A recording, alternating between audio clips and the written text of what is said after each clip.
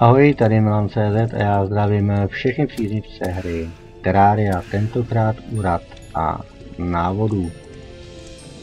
Dnešní video bude velice krátké, protože si představíme jenom pavoučí jeskyni.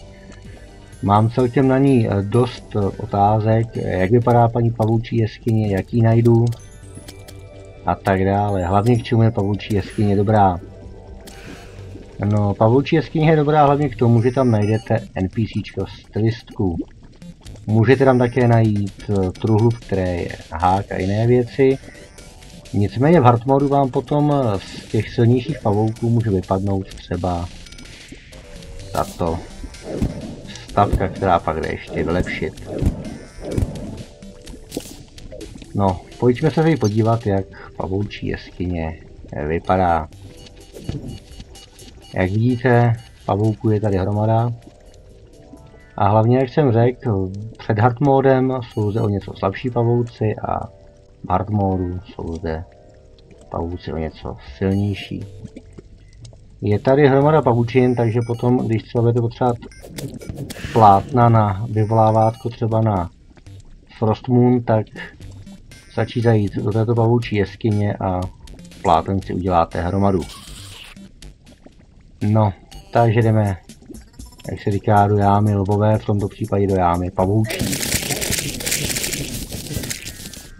Tak. Jak vidíte, jeskyně jsou jinak různě dlouhé, některé jsou krátké, jiné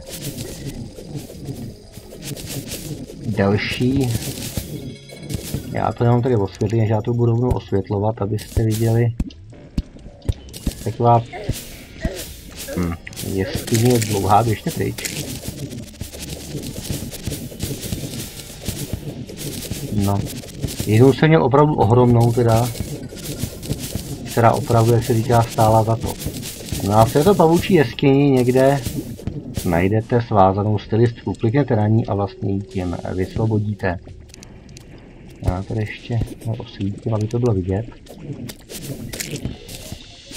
Takže pavučí jeskyně je hlavně dobrá teda, že hlavně kvůli stylistce a pak si můžete udělat třeba i pavučí mazlíčky, případně pavučí brnění, ale to až v hard modu, protože v hard modu z pavouku padají tyto spiderfangy nebo pavoučí zuby. No, takže pavoučí jeskyně tedy vypadá takto. Já jsem toto video udělal hlavně takové ukázkové, protože jsem zjistil, že vůbec je dost lidí, kteří absolutně netuší, že vůbec pavoučí jeskyně v terárii existuje. Ji vlastně nenašli a vlastně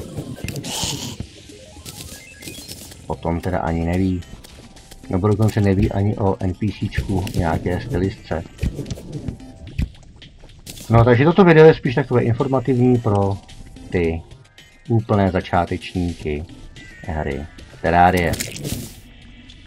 Takže já tady ještě zničím ty dva pavouky, tak. A vyletím již nahoru. Ups. No. To je tedy ode mě pro tuto chvíli vše a já se budu těšit zase u dalšího videa. Zatím tedy ahoj a jak vám všem vždycky říkám, mějte se fajn.